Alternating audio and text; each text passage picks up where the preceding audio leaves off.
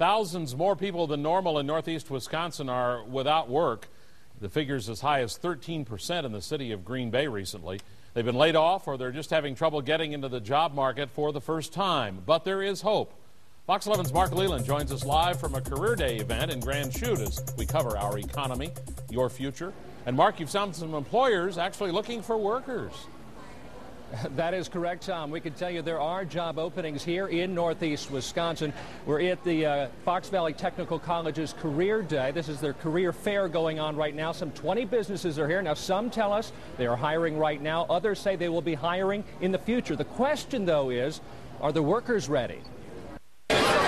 Competition for employment is tight right now, so anything a prospective worker can do to get a leg up on the competition will definitely help. You just can't be able to do one thing. You've got to be able to do multiple things. Just like we've developed robots to do multiple things, people have to be able to do multiple things as well.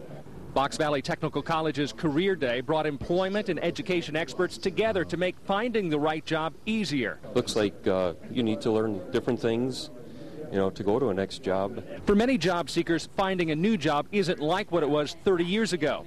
The Fox Valley Tech event offered help, though, in everything from career planning to networking. Part of it starts with exploring what our options are. Um, our offerings are, are key to high demand careers in our in our occupational areas in the in the New North.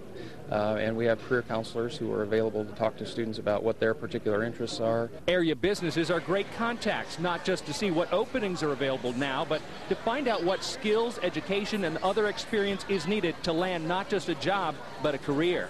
I'm looking at Q4 at the end of the year. I, I do expect it to change. We already see it. Um, people are still buying, they're just being cautious. They're really being cautious.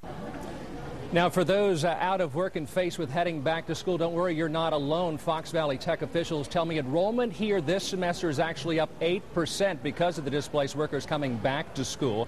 Now, if you're interested in career options, but you couldn't make it out to the career fair here today, which wraps up in about 15 minutes, uh, the counselors here say just give them a call and they'd be glad to help you out. We also want to help you out on another front. On our website, we have an online service where you can find job openings across Northeast Wisconsin Wisconsin. And companies with jobs can actually post job listings, and it's all for free. Just go to fox11online.com and click on the Fox 11 Job Finder link. You'll find it right there on the homepage. We're live in Grand Chute. I'm Mark Leland, Fox 11 News.